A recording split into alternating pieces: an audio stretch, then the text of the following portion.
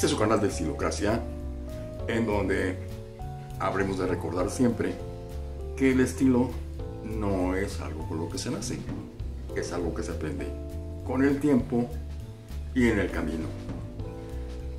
Y miren, hemos estado pensando muy bien en esto que, vamos a, a contarle a ustedes en este video. Sabemos muy bien que la forma más cómoda de vestir y que además hay que vestir cómodamente siempre es los jeans o chinos, una camiseta y unos tenis. Esta es una vestimenta prácticamente universal que han adoptado tanto hombres como mujeres, porque además es una vestimenta que la utilizan tanto el género masculino como el género femenino. Sin embargo, si usted es un seguidor de este canal, podrá de alguna manera estar de acuerdo con nosotros. Hay que distanciarse y diferenciarse de la inmensa mayoría. Y si la inmensa mayoría se viste con una camiseta, unos jeans y unos tenis, haga usted lo contrario. Vístase como un hombre formal. De hecho, déjeme decir una cosa.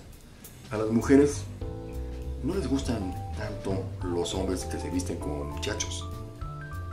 Les, les gustan los hombres que se visten como hombres y que actúan como hombres. Y obviamente, si usted actúa como hombre, usted quiere que su hombría se note desde su forma de vestir, su forma de caminar, su forma de hablar, su forma de mirar.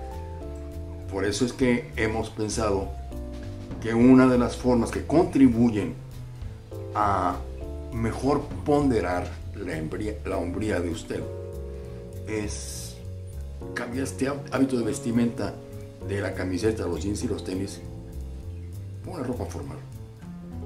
Un traje, un saco, un blazer, pero que no sea exactamente este uniforme de camiseta, jeans y tenis.